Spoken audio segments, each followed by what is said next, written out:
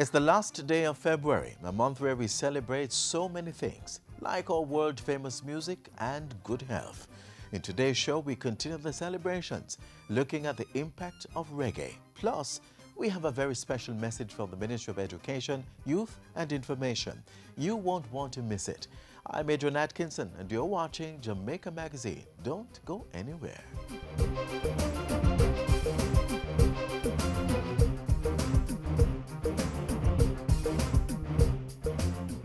Parents, how do you think your children feel when they are beaten?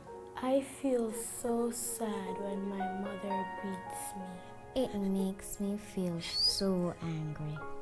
I feel embarrassed and I feel like you just don't care. It has been proven that coercive parenting is directly linked to the aggression your children are displaying in schools. The National Parenting Support Commission is imploring you, parents, rethink your actions. Stop beating your children. A message from the National Parenting Support Commission in collaboration with Ministry of Education, Youth and Information for improved safety and security in schools.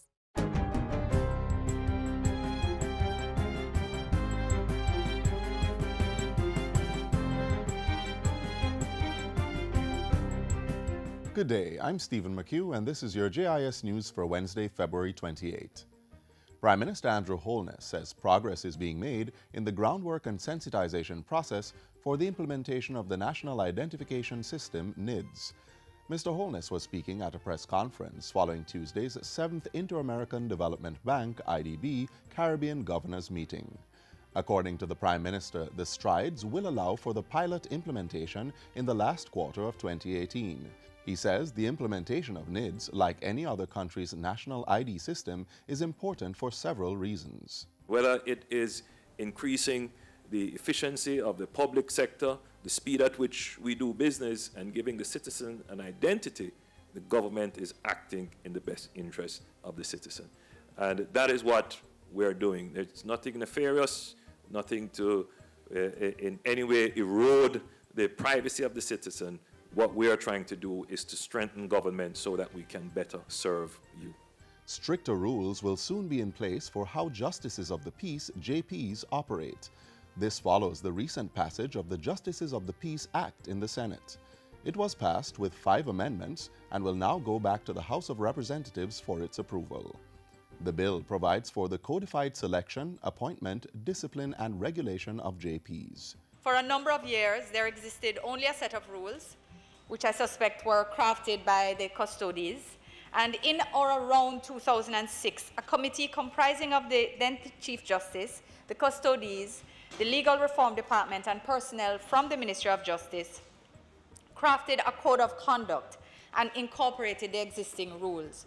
The code was gazetted, uh, but no legislation was enacted to govern the functions of justices of the peace. Among other things, the new legislation entrenches in law that a justice of the peace cannot and shall not charge for his or her services. It also reflects the increasing functions of JPs, including adjudicating matters such as the ticketing of persons found with up to two ounces of ganja, which no longer attracts a criminal record. A companion bill, the renaming of the Courts of Petty Sessions Miscellaneous Amendments Act for the court to be called the Lay Magistrates Court, was also approved by the Senate with no amendments. Residents of Tweedside and surrounding areas of Clarendon are now proud beneficiaries of a health center. Health Minister Dr. Christopher Tufton officially handed over the new two-story facility, which was constructed and equipped at a cost of $40 million. The Eric and Dr. Hyacinth Hugh Health Center is a result of the efforts of the philanthropic Hugh family who hailed from the area. Minister Tufton says the family stands as an important role model for others to follow. We appreciate that because it sets a case, hopefully, for so many others to follow. This is a fabulous building. Um, it, you know, the average health center is, is nowhere as elaborate as this one. The building consists of offices, a reception area, multipurpose rooms, and five bathrooms. Dr. Tufton says government is creating the environment to garner these kinds of support from people locally and overseas to fill the gap in healthcare delivery. So, for example, we have a wellness foundation that caters to persons who have an interest to come back or to give back, and that is under review now to develop. In related news, a check of $1 million has been gifted to the Enfield Health Center in St. Mary to support its management. The money is part of $5 million raised by the Jamaica 55 Charities Group, comprising members of the Jamaican diaspora in the United Kingdom.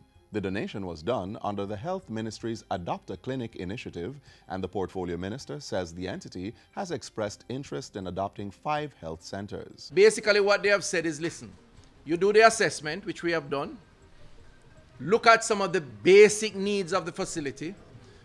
Under the Adopt a Clinic program, is what we do, and let us use this check, a portion of that 5 million, to enhance the ability or the capacity of the facility to provide better service to you in the community. The Adopt a Clinic initiative aims to mobilize Jamaicans at home and in the diaspora to provide support, whether in cash or kind, for 100 community health centers in the first instance. Minister Tufton says stakeholders have been responding positively to the program, with arrangements being finalized for the adoption of 10 clinics.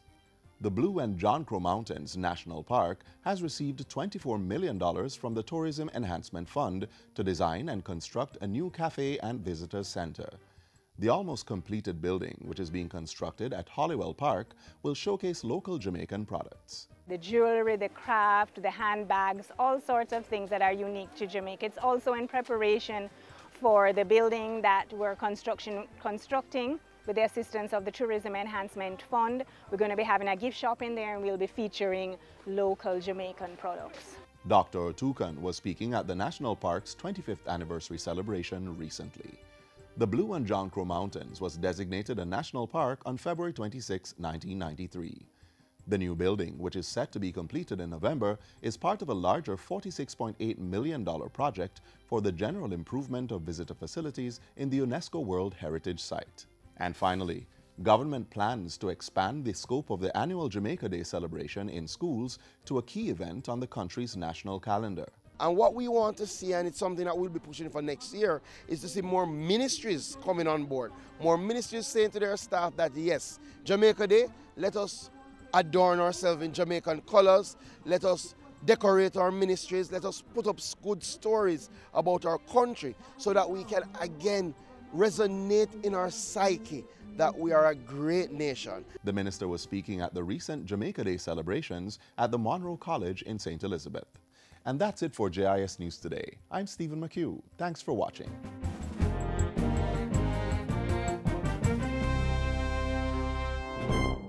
The Disabilities Act will protect the rights of all persons with disabilities.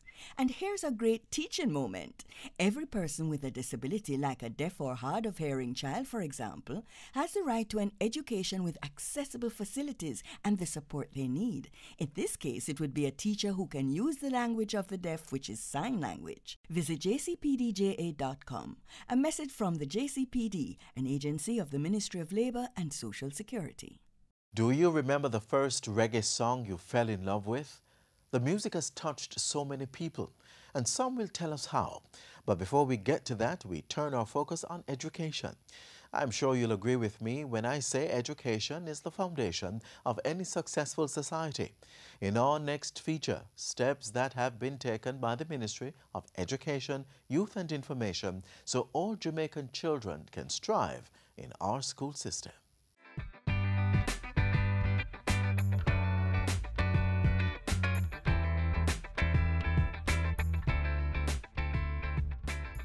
The Ministry of Education, Youth and Information, which I'm proud to lead, is committed to ensuring system-wide change and transformation that will redound to knowledgeable, skilled, disciplined, and socially conscious Jamaican citizens. For the past 24 months, we have been on a mission working assiduously to ensure that the education foundation of our youth is strong, that structures are put in place to engage and empower our young people, and that our stakeholders and society in general will lead productive lives and enjoy the prosperity that we all deserve. The ministry has placed great emphasis on the early childhood level. The program has been revamped and fully transformed. Over 100 early childhood institutions have been fully certified over the period. This is progress. We have increased the maintenance grant for all primary schools by 40% from $30,000 to $50,000 per school. A canteen upgrading project in schools valued at over $100 million was implemented and is at the final stages of completion. The budgetary allocation for school support has been increased from $2.6 billion to $7.8 billion. Significantly, the per capita grant for students at the primary level was increased from $850 per student to $2,500. The ministry has reorganized the payment tranches for schools so they receive funds on time. This, along with the increase in tuition subvention amounts, will allow for institutions to better manage operational expenses. We've also implemented the alternative pathways to secondary education, which caters to the multiple intelligences of our children and their diverse needs in order to fully maximize their capabilities. We've also implemented two additional years of schooling in our secondary institutions through the Career Advancement Program, which has continued in full earnest with increased funding to the tune of $800 million. We have also developed and launched upskilling programs, occupational degrees, and full integration of the STEM model within the system. The School Security and Safety Unit continues to implement measures to ensure that teaching and learning take place in a violent-free environment. This has received a significant boost from the U.S. aid of $3 million being used to assist with the programs to make our schools safer. We believe no child should be left behind because of the family's economic circumstances.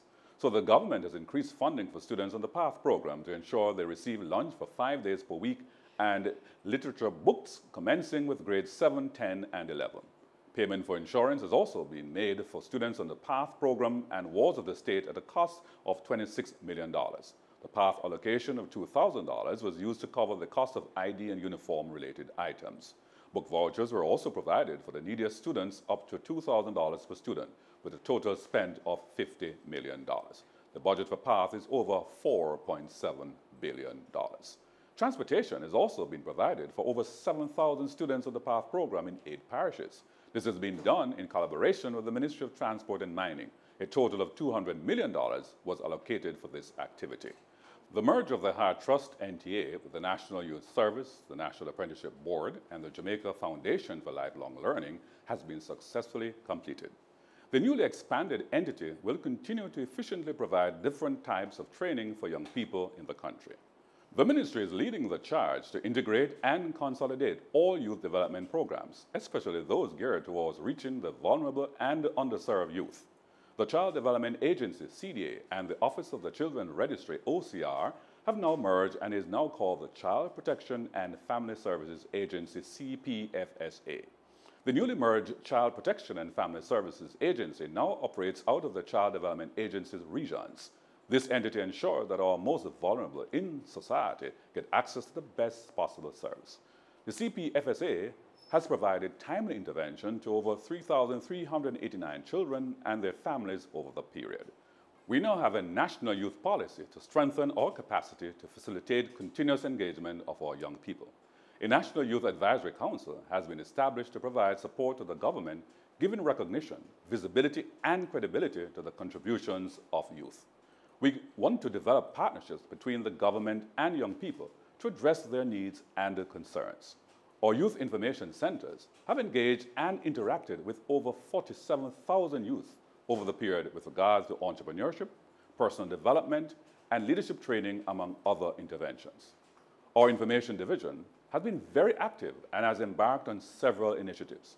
We are far advanced in the amendment of the Broadcasting and Radio Rediffusion Act, Television and Sound Broadcasting Regulations. Bi-monthly post-cabinet press briefings continue on schedule, where the nation is updated fully on cabinet deliberations. Seven broadcast licenses were granted over the period for radio and cable television. The media landscape is growing at a rapid rate, and the Ministry of Information is in full support of their efforts. The ministry continues to roll out the education initiatives under the Education Broadcasting Network, working with the PBCJ. These are but a few of our achievements. Please visit our website and Facebook page for more details. Together, we must continue the collaborative work to help our children and Jamaica as a whole on the road to a better educated and more prosperous nation.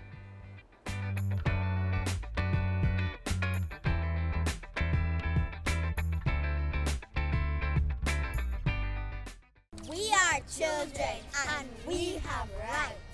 We have a right to be protected, provided for, and included. Don't beat me up, don't belittle me, and please don't molest me. I am under 13. I should not be working for a living. That is child labor. It is illegal. Stop leaving me alone. I am too young to provide for myself. I need your guidance. Protect our nation's children. They have rights too.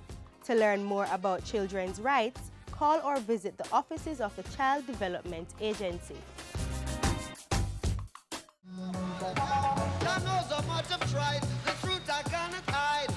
to keep you satisfied. True love I know exists is the love I can't resist. So jam by my side. Ooh, yeah. When the music hits, it elevates a society, showcases a culture, and announces the intention of a nation to leave a mark on the world. Right now, what reggae music means to a people. From deep within the archives on reels no longer supported by the platforms of a technological modernization in the transmission of sounds and images comes the story of a people and their relationship with the music they have bred. Reggae! Reggae! Reggae music is bass, brother. Yes, sir. Reggae music is roots. Not the dread. Yes, sir. Is our kind of music that, brother? What me say?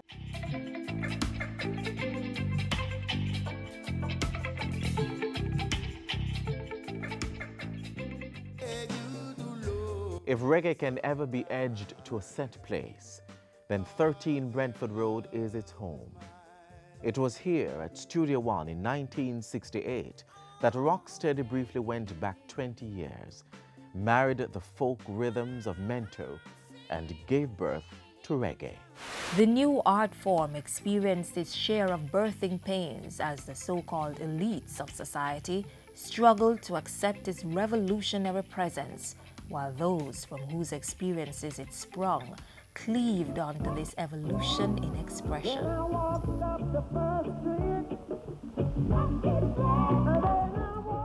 Reggae music is something that I think most of our people are ashamed of.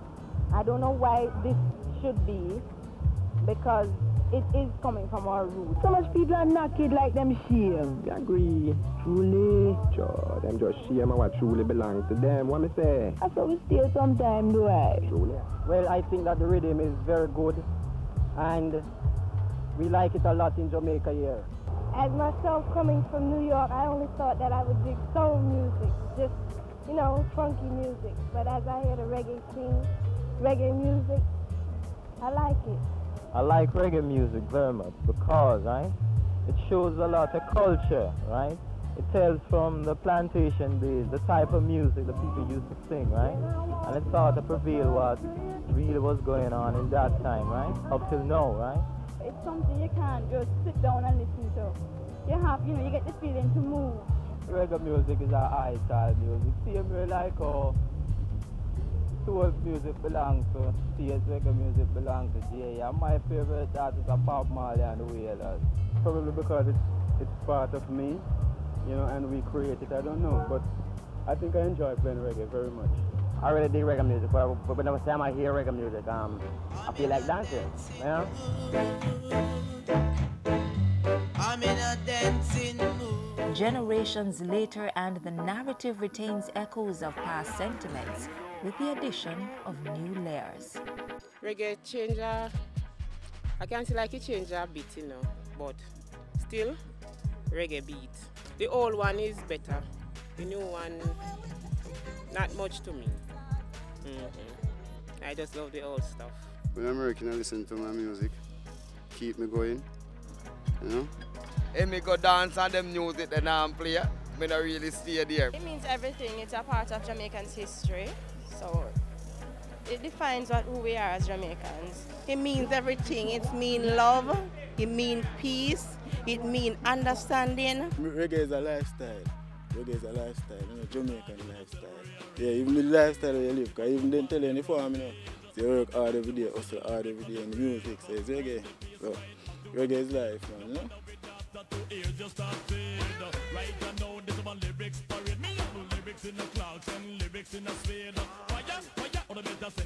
Reggae has become what some prophesied, a few decried, and almost none could truly imagine. Reggae is no longer seen in the world as alternative music or third world music or um, new wave music. It's doing good. but I think there are a lot of guys who make a lot of money from it, but it is good. I think maybe probably next to tourism. People know Jamaica not only for our sand, sun, and beach, but they know us for our music. So when you go abroad and people be like, "You're oh, you're from Jamaica, you know Bob Marley, you know such and such," all because of our music. So reggae is our definition of Jamaica. It is the strongest component in the brand Jamaica construct. Reggae artists and those who specialize in its offshoot dancehall have won major musical awards. In life and past death, its greatest ambassador retains an undeniable international presence that has demanded respect from world renowned publications. Since 2009, the entire month of February has been dedicated to its celebration at home. It was instrumental in garnering capital Kingston the designation by UNESCO as a creative city of music. And in 2017, the Jamaican government submitted a nomination dossier to have reggae inscribed on UNESCO's representative list of intangible cultural heritage for humanity. This international protection instrument will ensure that the origins of reggae and its de derivatives are appropriately documented and safeguarded for present and future generations.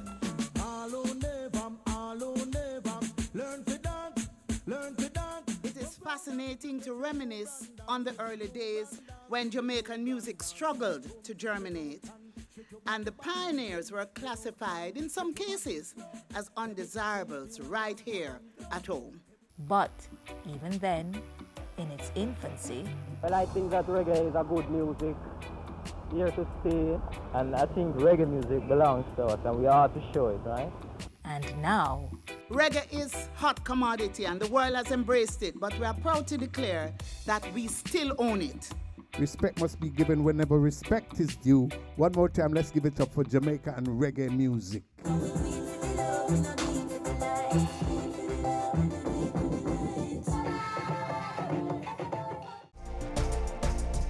Cancer, stress, high blood pressure. Guard yourself against these potentially deadly conditions by eating healthy. Give your body long life with foods such as low fat milk, dried and fresh peas and beans, unsalted nuts and seeds, fresh vegetables, fruits, and coconut water, and eliminate processed seasonings such as seasoning salt, soy sauces, and ketchup. When it comes to meats, remember to remove the skin to reduce the intake of fats and oils. Meats should also be baked, steamed, grilled, or roasted. Fish is also a preferred protein option. To eat healthy, fill your body with a variety of foods from all the food groups. And remember, eat at a slow pace and in small bites to help aid digestion. This helps to maintain a healthy, balanced, and nutritious diet, strengthening your body to ward off illness and prolong life.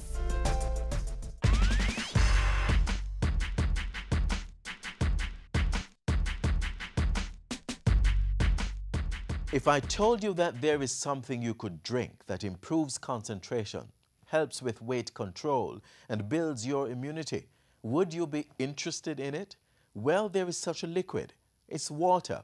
Water is needed for the body to function, from helping to get rid of waste material produced by the body to cooling it down when the time is hot.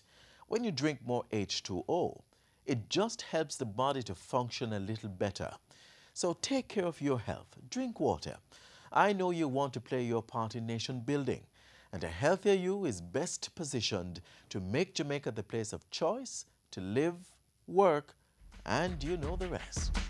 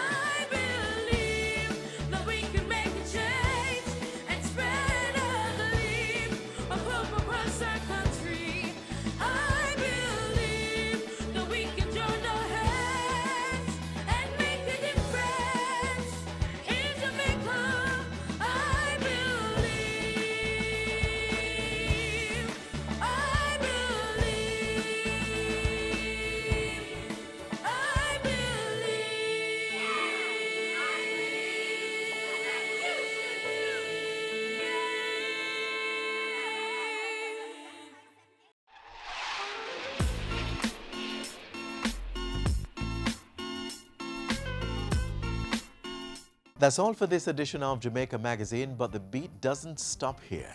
Did you know that you can watch this and other editions of the show online? It's easy and free. Just visit our website or check out our YouTube channel.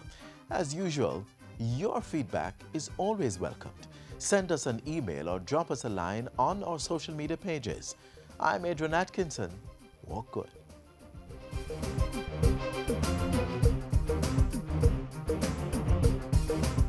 This has been a production of the Jamaica Information Service, the voice of Jamaica.